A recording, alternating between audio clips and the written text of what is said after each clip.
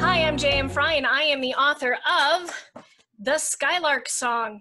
If you've gotten this far in the bonus content, then that means you've probably listened to the whole book. Thank you so much for listening, and I appreciate all your comments and your reviews on Amazon and Goodreads. Today, uh, for our bonus content, I have a little bit of a surprise for you. I have Kisa Whipkey, the editor of The Skylark's Song from REUTS Publications. Hello, Kisa. Hello. Thank Hello. you for having me. You're very welcome. Thank you for letting me bully you into this. it wasn't hard. I actually really, really like to talk about these books. So I'm excited Wonderful. to be here. So tell us all about you. Who is Kisa Whipkey the human? Okay, so I am, uh, I started off, I was the uh, acquiring editor. Um, I've now since become the publisher behind REUTS Publications, but I still do the heavy lifting on the editing side. That's still what I love to do the most. Um, so that's kind of me. I've been in publishing now since uh, 2011, so it's been a while. but um, as old as yeah. my debut novel. A little bit, yeah. That's, that's how old my career is, which, you know, for an editor, I guess is it's a decent amount of time. But yeah, I still feel like I'm learning everything about publishing because no one ever knows everything about publishing. But yeah, anyway, that's who I am, and uh, yeah, Yeah. I'm ready to talk Well, about some Skylark. that uh, publishing changes so quickly It really does. That, like, just even I think it was last week I sent you a message filled with question marks and exclamation marks, going, "Wait a minute, they're book review podcasts now. How am I Yeah. supposed to stay on top top of all of this?" Yeah, exactly. It's constantly evolving. I don't think it's possible to ever know exactly everything that's going on in all corners of publishing. Yeah, totally. So, um, tell us a bit about REUTS Publications.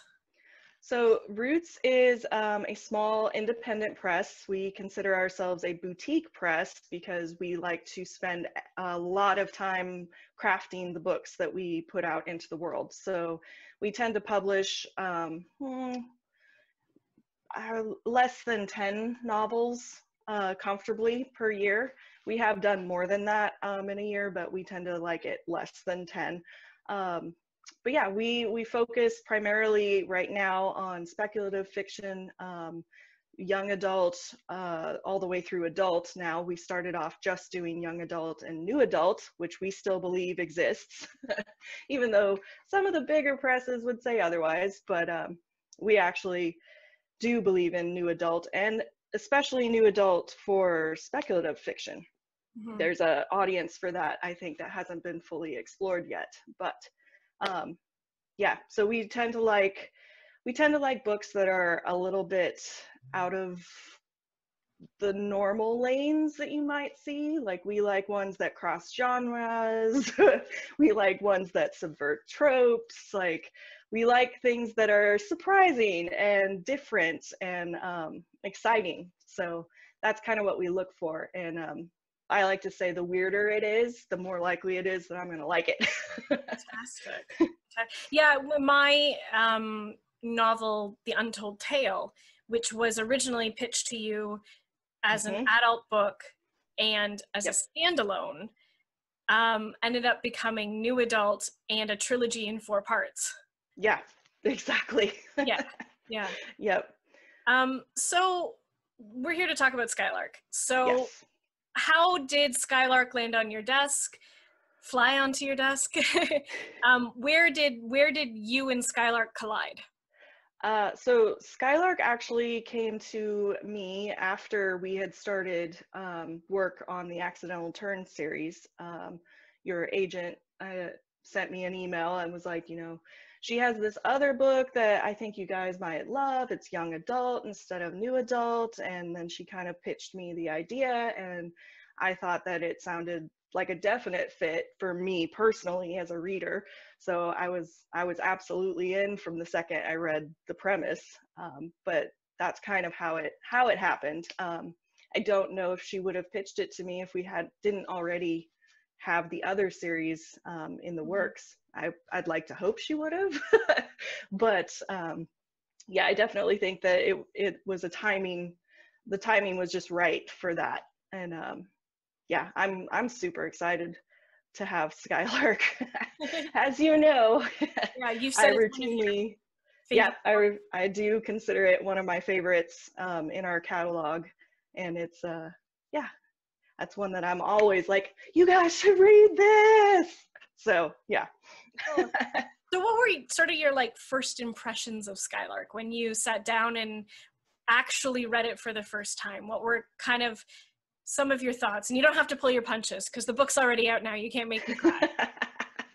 um, so I obviously had a lot that I liked about it. Um, I really, really liked the fact that your lead character was a mechanic. Um, you don't see a lot of female characters that are in trade industries, for lack of a better way to say it, that aren't, you know, princesses or other lady type characters. Um, so it was nice to see a girl that gets her hands dirty. Mm-hmm. so I really liked that. And um, the fact that it was an action adventure novel really appealed to me. Um, I definitely had some concerns, if I remember right, about the world building at the time, which we have since addressed and, and mm-hmm. fixed. And um, I I remember you mentioning that your agent had um, wanted you to add a love story, but I wasn't convinced that the love story that it had at the time was working.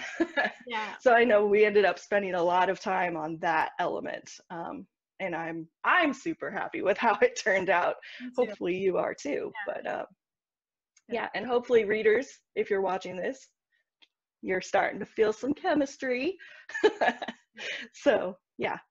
All right, so going back to what we were saying about the first yep. agent and the love story, I mean, the story with Skylark for me, I guess I'll, I'll explain where Sky, Skylark came from. Mm-hmm is um, I had never heard of steampunk. I didn't know what it was. Um, I thought it was a genre, not an aesthetic, but I have since been corrected by uh, Mike, the steampunk scholar Perschon, that it is an aesthetic, not a genre. Um, and I was hanging out with friends, and we had just done a group cosplay um, for an event, and then we said, okay, well, let's do another one. We we want to win some awards. What what can we do? And they said, one of my friends said, well, let's do the X Men. And then another friend said, ugh, everyone does the X Men. Let's do steampunk X Men. And I was like, what's a steampunk? So I was introduced to steampunk in 2009, and uh, for a couple more conventions, my friends and I did steampunk versions of things. And then I happened to be at a big steampunk convention here in Toronto, and someone drunkenly said well you're a writer you can make up a story about anything and i was like yeah i can because i had also been drinking and um, someone said all right everybody who's in this circle here everybody in this group of people make up a story about us so i went around the circle and i figured out i had everyone tell me their character names and what they did and because of course like when when you've got a steampunk persona you've got a persona so mm-hmm. I found out about everybody's personas, and I went away and I came back and I told the story of the Klonn-Saskwyan War, and just basically was like, okay, this is this, this is that. You're this person. You're Madame Rosa. You're this. You're this. Um, and I have to say, like that story was the basis of the book, but because of course then everyone was like, hey, that's good. You should write that down. Mm-hmm. Um, and that was the basis of the book, but so much has changed since then. I think maybe the only thing that is the same is that Robin's name is the Skylark and that Madame Rosa is Madame Rosa. I think that's literally that's the it. only thing that stayed the same. Wow. Um, and then, yeah, I ended up writing the first book and I sent it to my then agent, and he was the one who said, I can't sell YA without a romance in it. And this was in 2012 when, like, you know, mm-hmm. Hunger Games was really happening and YA was really happening. And right. I'm like, but it's the middle of a war. Why, in what way would she have any time or brain space for romance? Mm-hmm. It makes no sense.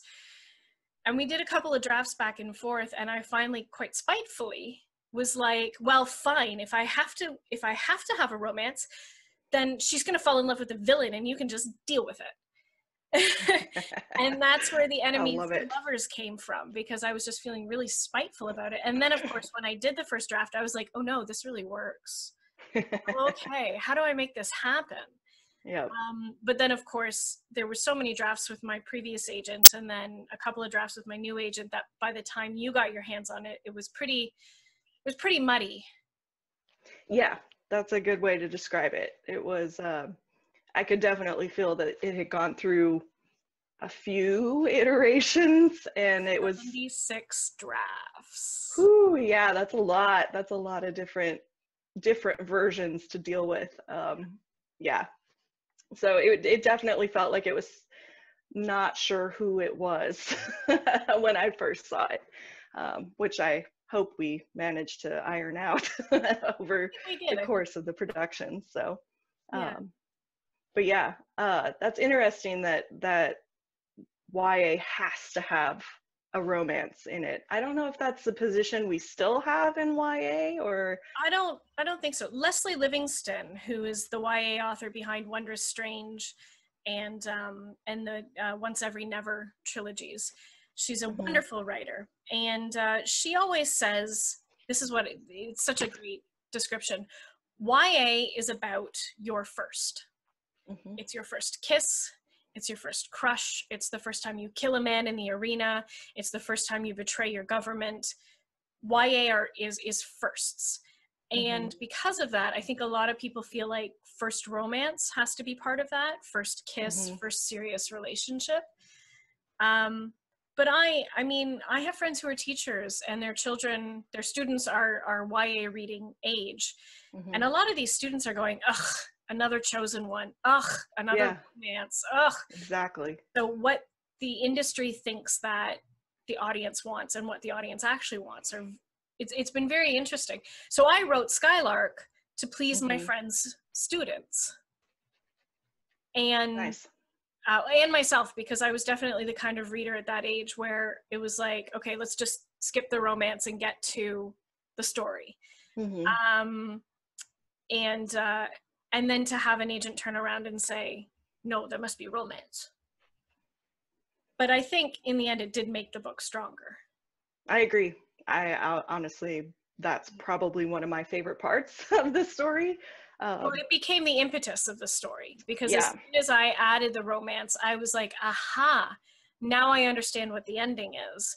And now mhm. I understand why it has to be that way. yeah. Um, so speaking of endings, uh, the book as it stands now is is not how it was when you first read it. So No. talk, talk to me about the process about where we decided to split the story. So originally, when it was pitched to me, it was pitched as the typical YA trilogy. Um, so there were supposed to be three books, and two of them, I believe, had not been written. Um, so you knew ultimately where the series was going, but um, not how we were going to get there. Yeah. So what became the duology was actually the first book in the trilogy. Um, so the the story that I read uh, was basically both books in one, um, and that was supposed to be the first book. That was the Skylark song, and um, after we started talking about it and talking about the series, you mentioned that you didn't feel that you had enough material or really didn't want to do a three book arc. Um, There just wasn't enough story there. Right. And uh, I I think that that world is rich enough that you probably could have come up with more, but I also agree that I think the story that you wanted to tell is told best as it is now. Um, and there was when I read the the initial draft, there was a definite shift in the middle um, where I was like, "Ooh, that's where it breaks." Like, there's basically two halves to the story, and it would be real easy to just separate them right there in the middle. Um, so that's basically what we ended up doing. yeah, and it, it was pretty much almost perfect. I think. I mean, because the other problem was J.M. Frey is a chronic overwriter, it was very long, yes. and it was like 128,000 words. yep. uh, when a typical YA is between 75 and 90. hmm Um, oops. Uh, but uh, so that was the other problem is you guys had said, you know, if this is book number one, we have to cut out 60,000 words. And I was like, uh, there, no, mm-hmm. there's no mm-hmm. way to tell this story missing that much of it. Um, so that's where we sort of came up with the solution of cutting the book in half and making it a duology. Mm-hmm. Um, and yeah, it ended up being like 69,000 words and like 65,000 words. It ended up being almost perfect. Like perfectly in the middle. Yeah. Yeah. yeah. And yeah. then I think there was there was a little bit more added to there was a lot more added to the the second book and we yes. completely rewrote act, like completely rewrote act 3 mm-hmm. twice yeah I rewrote the whole thing based on your notes. And then you were like, Yeah, I read what you did, and you did exactly what I asked you to do. But I realized that I shouldn't have asked you to do that. So yep. can you rewrite the whole third act again? And I was Sorry. like, I drank a bit and I cried a bit and I swore a bit and then I just did it. Um, but the, the first book only really needed, you know, a couple chapters in it to just really mm-hmm. Flesh out what was happening. Right. Yeah. So, um, yeah, it was, that was actually a rare moment in my career. I have not done that to a lot of people. So sorry. That's okay. Well, you know what? I trusted you when you said that because we yeah. have the relationship of the other four books that came before this. Yes. And um, I, I found, so here's, here's J.M. Frey, the Chronicle of a Writer again. Um, the Untold Tale was never meant to be a series. It was always mm-hmm. meant to be a standalone. And then very rightly, um, the team at REUTS said, well, if it's an epic fantasy series about epic fantasy series where the characters in the epic fantasy series discover that they're characters in an epic fantasy series and escape the epic fantasy series, then it must be a trilogy. Mm-hmm. And I said, no. And you said, but epic fantasy series are always trilogies. And I went, damn.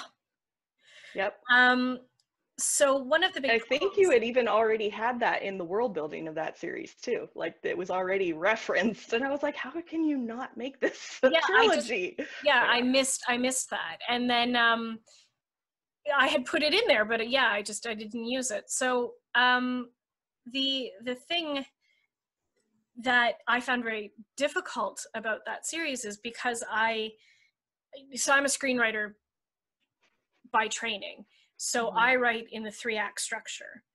My books always have three acts, except for Skylark, which weirdly had five. Um, yeah. um, but when I when I put together a series, I also plan the series like a three act structure. So book one mm-hmm. is act one, book two is act two, book three is act three.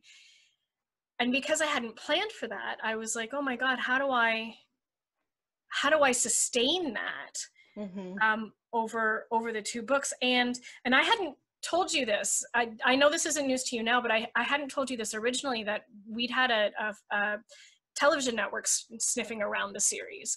Right. And one of the meetings I took with the executive producer, she said, "Please, dear God, don't give me a mushy middle book.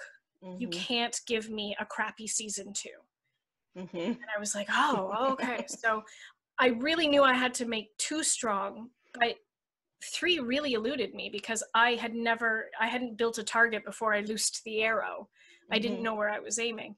So, all of this to say that you really held my hand through that and you you did not guide me wrong so when you said go write this i think mm-hmm. the second the third act of skylark 2 should be like this i was like oh, okay well i trust kisa let's let's give her yeah. and then and when you, you did, and then I was wrong. the thing is, I really liked that you said I'm wrong. Mm-hmm.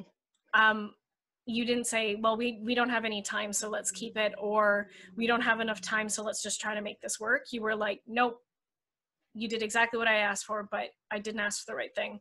let's just do it again and i appreciated that professionalism so much i mean i didn't sleep for a month but I, I and I don't I was, think I did either.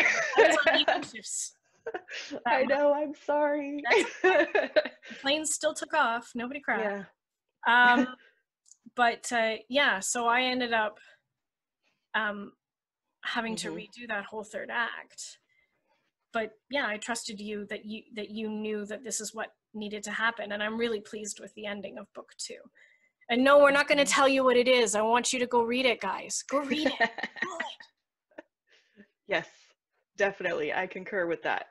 The ending of, of book two is it's pretty spectacular. oh, thank you. Well, it's interesting because I was at the Kids Lit Gala here in Toronto, and um, I was talking to somebody while these edits were happening, and I said, "And I think this is this is what we've decided for the ending." And you're a fellow writer, so you understand. I'm just going to tell you, not worrying about the spoilers. And I said, "This is what we're doing." And the circle of like five writers that were standing around me holding champagne flutes, everybody went, yeah, really doing that?" yeah, yeah. Yeah. and it's amazing. it's still one of my favorite favorite ways to that the series ends. Personally, I mean, it's a, a, a bit of a throw the book at the wall moment for me, Yeah. but I also love that about it. So I love writing yeah. those though. I, I, the best moment I had in an autograph signing is someone brought me a copy of Triptych and the spine all in Mhm. here was crushed and pages were bent. And I was like, what happened to this poor book? And she's like, I threw it against the wall. Yeah. Because I Yeah. hate you. And I was Yeah. like, cool. Do you want me to sign it? She was like, yes, please. yes.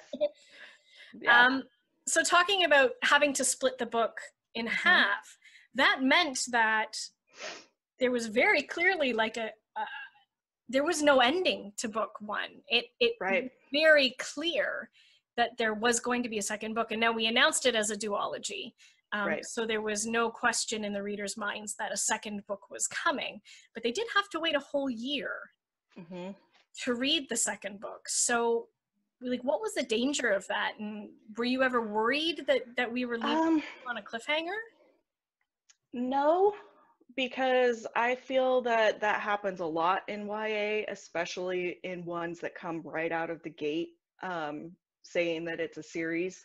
And I think there's a tendency in, um, especially YA fantasy, to do exactly that and just cut it off and leave it on a cliffhanger. Um, I feel like in book one and the, Skylark song, we did try to give it at least a little bit of closure, um, but we did definitely leave it on a cliffhanger with the intention of it just flowing right into book 2 Mhm. um, because that's basically how how the draft I read was. yeah, I um, think there's a month between like the, what ha- the, the final moment of Act Two, or of of, of Book One. I think Mhm. there's a month or maybe two months between that moment and the moment we pick back up in. uh, now. I don't think that was always the case, but yes, now now there's a little bit of time in between. But the the overall idea and the production of the duology, from my standpoint, was that ultimately it was one of I wanted it to be one of those series that people would read back to back. Mhm. Like they wouldn't they would yes they had to wait for it because of the nature of the production pipeline and everything, but um I, I wanted people, especially with the way book two ends, to want to go back and read it from the beginning and see it all the way through as one story, like as one complete story. Um, kind of more of a film approach, really, to the way Mhm. that, you know, movies that are obviously going to have sequels or whatever, they don't they don't wrap everything up nicely with a pretty little bow on top. Like they give you maybe a one thing and then they're like, and now come back next year to find out. Lord of the Rings so is the perfect example of that. Yeah. Everyone says, why does Lord of the Rings have six endings? And it's like because they were 20 stories happening and mhm. and they didn't end any of them at the end of book one or movie one and they Yeah. didn't end any of them at the end of movie two. and I think um, Avengers: Infinity War and Endgame is another great example of that because Yeah. they they cut Inf- Infinity War on like the worst spot. Yeah. Talk about a cliffhanger. yeah. Um, so I feel like you know I think it's doable, but um, but you, you can't leave the audience feeling cheated either. right, That's the that's the key. Because I definitely came away from Infinity War going, that's it. That's what I paid my money for. Come on. Right? Yeah. Yeah. Yeah. There was that anger of being like, no. But it wasn't even yeah. like a good fanish anger. I wasn't like, no, now I have to wait a whole year. I was just like, fine. I You're guess like, I'll come "What?" back. Yeah. Exactly. And that's what. I was afraid of with this one. I didn't want people to to rage quit the series. Right. I actually I I don't see a lot of criticism about the cliffhanger ending. Mhm. Um, in fact, from what I've seen in the reviews, I would say it works successfully. Like Mhm. the majority of the reviews, especially recently, um, have been ones where they're like, I have questions and I can't wait and I'm going to read book two right now. So, um, I mean, it probably helps that they're both immediately available and you can just go get book two right now. But um, yeah, I actually have not seen a lot of negative feedback in regards to the cliffhanger. So I think, we think- pulled it off. pulled it off. Pulled it off. Um, so then the other question I wanted to ask is this whole appeal of enemies to lovers. Mhm. Why do we why do we love that story? I don't honestly know. and Jane Eyre and and Beauty it's and the Beast. yeah, Even White and Royal Blue, Uprooted. I'm trying to think. Mhm. Yeah, that inevitable Victorian thing. Like pretty much every pretty much everything I've read in the last year. Actually, now that I think about it. right? Yeah. uh, yeah, I don't know. It, it's very personally appealing to me for some reason. So I was 100% in for it. Um, but I think that it's also challenging to do well. Um, yeah. I, I don't I think I think for for me part of the appeal is the the morality being a little bit gray like you're never really sure who's truly good or who's truly bad and um, the instinctive push and pull of you know somebody who do we like this person? Do we not like this person? Like you have differing motivations and so there's you know inevitably there's really good banter and like moments that you know kind of get turned on their head a little bit and it's not as cut and dry i think as just a straight up love story where you know they walk in the room and you're like yep that's the person they're going to end up with. Like Yeah, there's Um, sparkage and there's friction yeah. and there's that's nice. passion well, and I maybe I find it difficult to um for me the enemies to lover was really hard because I didn't want to woobify the villain. So it, that's a fanfiction term which just basically means turning somebody into a wooby, which is like, oh, you know, Loki's the bad guy in Avengers, but he's really misunderstood. And then you, you know, you write a story where Loki is sweet and adorable and and and it's just really completely out of character. And Mhm. for me, the challenge of an enemies to lovers story is creating an enemy who is still the enemy Mhm. even though that the hero loves them without without de-villainizing the villain and also without villainizing the hero because that's the other Right. way you could go with it you could have the villain the hero go off the rails and become a bad guy right but Yep. keeping them keeping their dynamic but then somehow making the dynamic function together is Mhm. my god the number of things i wrote and deleted and wrote and deleted, and wrote and deleted. yeah Yeah. i think that i think the particular challenge for this one um, was the fact that the coyote is just so darn slippery like even we didn't know who he was until like Yeah. towards the very end of book two and then we were like well yay now we have to go back and fix everything because you're not that. yeah thought. Yeah. Yeah. What's that saying from Neil Gaiman? Draft one, write everything that happens in the story. Draft two, go back and make it look like you did that on purpose. yeah yeah exactly That's exactly what we Um, did. so I think I think he was extra challenging as a character, and until we were able to actually pinpoint him, Mhm. it made it really difficult to uh, kind of make the dynamic between he and Robin work. Although they did always have chemistry right from the get go. Mhm. Even in the original draft, I was like, "Oh yeah, I like this. This is good. I don't like where it goes. It gets a little weird in the middle, but Yeah. we can fix that. Yeah. dark. Well, and that was that was the whole spite romance thing happening. I really Mhm. liked the coyote as the villain. And then the minute I was told I had to make it a romance, I was like, how do I make such I mean, he was in the original draft, he was a horrendous person. He was he was not a good person in any shape or form. He was charismatic and Mhm. he was intriguing and he was magnetic but he wasn't a good person so then when I started writing that romance it was like oh no this has just turned into a really shady narrative that Mhm. should be you know like on the front page of the this isn't Yeah. working so that a lot of going back and reworking that was not not so much changing the lines i think we kept a lot of the lines but changing what happens around that dialogue to make it Mhm. clear that these moments are not predatory these moments are not coercive um, yes. it, it's become a mutual thing Mhm.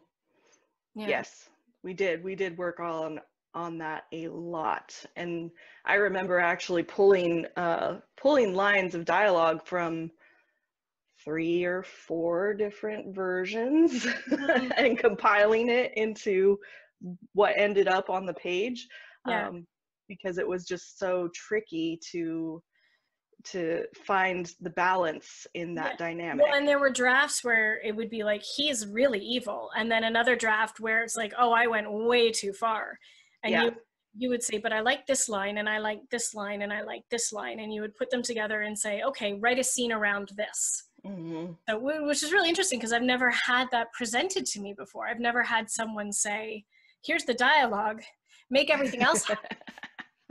okay, Yeah. sure. yeah, Yeah. we played a lot of Jenga with this particular story. Yeah. Um, a lot of Jenga. Um, so now both books are available on NetGalley. They were Yes. available for review copies when they both came out, but REUTS decided that they're going to do a big marketing push, and you've just put both books up at the same time. And you were saying the Mhm. reviews you're seeing are the reactions are really different now that people can just bang bang read it. yeah, it's um, fascinating to see the responses. Um, and people, it's it's interesting to me, and I think it speaks a little bit to just the way publishing has primed readers to deal with books in a series. Mhm. um, because like most of the reviews that i'm seeing complain about not enough explanation in book one um, they think the world building is a little thin and they want more information um, and that's all built into the series it just you have to get to book two before you really see that kind of meat on the bones kind of Mhm. um, backstory, um, which is a fascinating argument from readers because the other on the other side of that coin are the ones who say that, that you're info dumping if you put too much of that in yeah. up front. Um, so it's been really interesting to see because right now the books are both available. I think they're available through September 9th on NetGalley. Um, they're available to anyone. They're just read now. So if you have a NetGalley account, go get it. Um, but it's been really interesting to see uh, most of the people who pick up book one do go on to read book two, and they do go on to like book two better, um, which is fascinating because, again, we we kind of approached it intentionally to treat it as one large story. So what that tells me is that you know readers are so used to um, the larger houses not really backing a book beyond the first one in the series that the authors have to it puts more pressure on you guys like you have Mhm. to like really explain everything right out of the gate but without info dumping it like Yeah, because because I if I get a, a if I have an idea for a five book series, but one of the big five is only going to give me a two book deal, I might only Mhm. get two books out of it. So it's that Yeah. balance between how much of the five book story do I want to tell in the first two books on the Mhm. understanding that I might not get more. But what if I get more? Then how do I pad out those other three books or one or two books because it's not a guarantee that they'll be like oh the first two did well here's you know your whole five book contract it'll be the first two did well give us a third maybe give right. us and then a year later yeah. the fifth like it's so th- there was a lot of safety and security as a writer to be able to take my time mm-hmm. um, knowing that it, it was a two book deal and it would always be a two book deal mm-hmm. um, and, and in terms of world building like i'm definitely the kind of person where i don't i want to i want to spool it out a little bit at a time and i really i trust my readers to be smart enough and clever enough to, to figure it out i don't feel mm-hmm. like i mm-hmm. should have to hold your hand if i if i use an idiom over and over again you you understand like I, I at no point did i sit down and say bees are very important in Seelie culture right but the fact that all their idioms had to do with honey and bees mm-hmm. there was mm-hmm. a scene about the value of honey in breakfast tea um, i let the reader come to those own come to those conclusions themselves i, I trust mm-hmm. my reader to be smart enough to put those puzzle pieces together.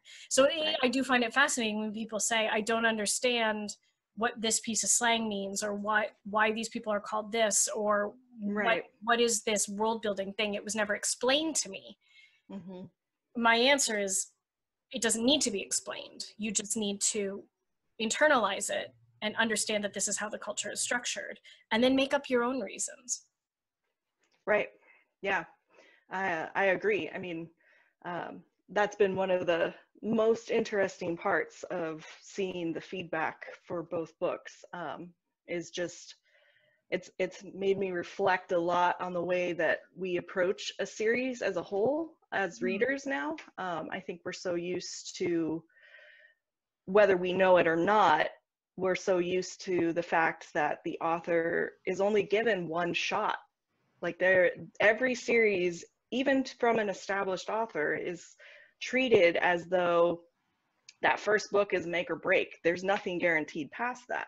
Mm-hmm. Whereas in this was more of a traditional approach, I guess. Um, like I look back on the books that I read as a young adult, which were not classified as young adult back then.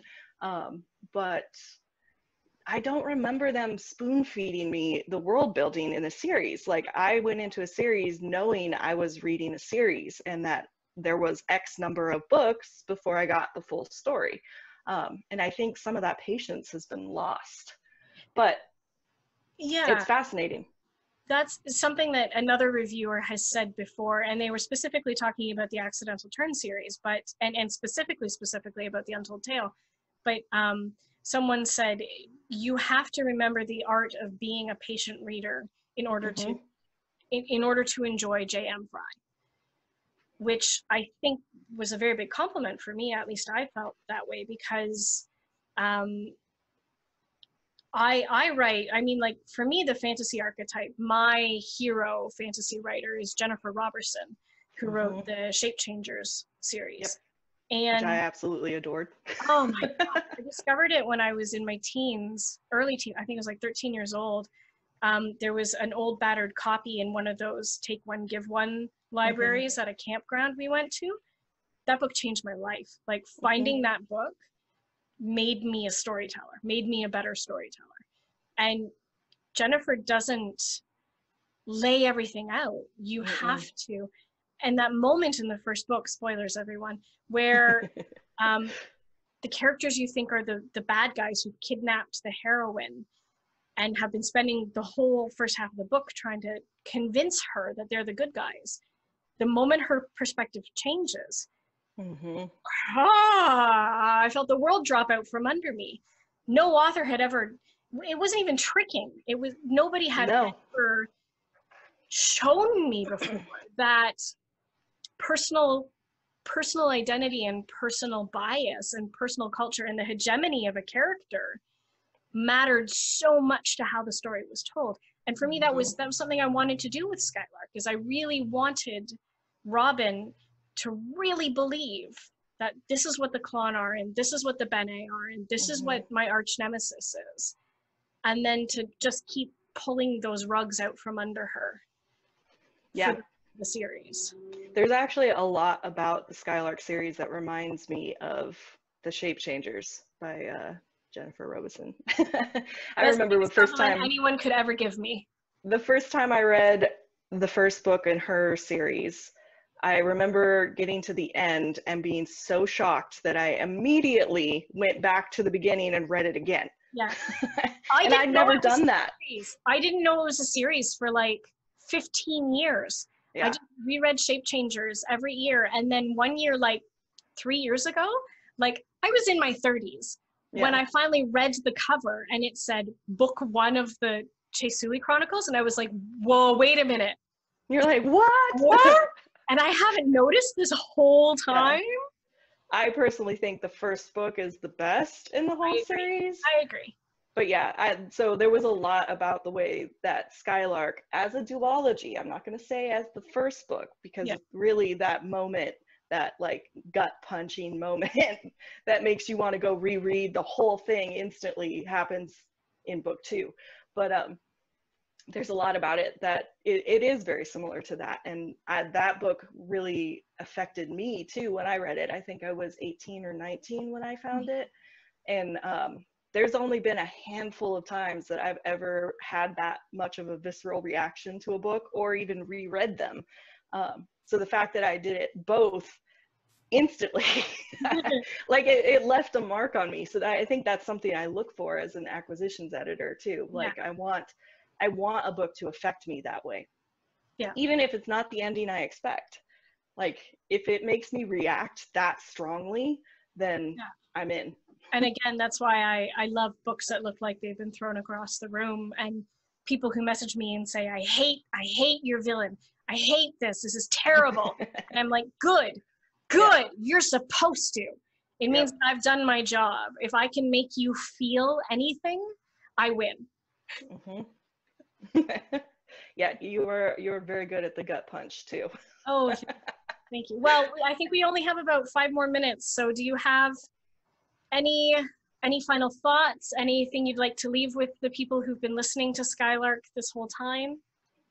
Um, if I could leave you with anything, it would be to continue the story because it gets a lot more intricate and tricky from here. book one is good. Don't get me wrong. There's a lot about it I love. Um, it's got, you know, that kind of Jane Eyre thing going on, a little bit of Beauty and the Beast. Um, kind of reminds me a little of the action of like The Hero and the Crown and the Blue Sword by Robin McKinley. But book two is where it's at. So if you've made it this far, you're going to want to keep going. I guarantee it. Thank you. Well, thank you so much for taking the time this afternoon. And yeah, thank uh, you for having me. Well, thank you. And please, you know, stay safe. And uh, everyone out there, um, wear a mask and, uh, and take care of your loved ones. All right. Bye.